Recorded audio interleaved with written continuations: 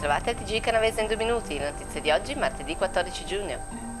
Lanzo aveva attestato falsamente la sua residenza in un comune delle Valli di Lanzo per ricevere l'assegno sociale.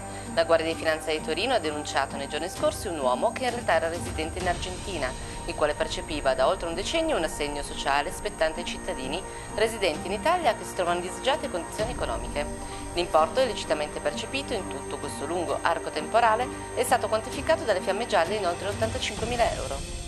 Castellamonte e i carabinieri del RIS di Parma hanno rinvenuto impronte e tracce organiche di Gabriele De Filippi e Roberto Obert sulla Renault Twingo dove lo scorso 13 gennaio è stata uccisa l'insegnante Gloria Rosbock e quanto emerge in una relazione consegnata alla Procura di Ivrea. Ivrea, allarme per il futuro del laboratorio museo tecnologicamente. Il museo rischia di chiudere a causa della mancanza di fondi utili a finanziare una nuova casa.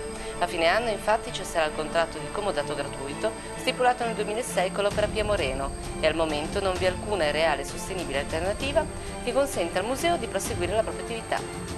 Per questo la Fondazione Natale Capellaro, unitamente alle associazioni che da sempre sostengono e lavorano insieme, lanciano un appello alle istituzioni locali, agli stakeholder economici e imprenditoriali, alla comunità nel suo insieme affinché si riesca a trovare una nuova casa.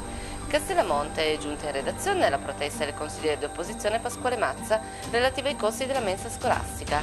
La giunta ha votato una delibera, afferma Mazza, legale ma fortemente immorale, che aumenta retroattivamente a partire da gennaio scorso il costo della mensa scolastica. Questa iniziativa ha il sapore dell'ennesima beffa per le famiglie.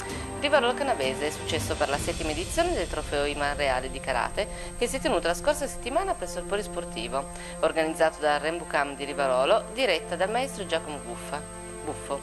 Si tratta della gara dedicata all'ex atleta Iman Reale, prematuramente scomparso, che come ogni anno ha previsto un programma di competizioni di gare sia di kata che kumite, riservate agli atleti dagli 8 ai 17 anni. Ingria, fine settimana di musica ad Ingria con la decima edizione dell'Ingria Woodstock Festival. Si parte venerdì 17 giugno alle 21 con gli Ade, a seguire si esibiranno i Carmona Retusa e i Maurano and the Band.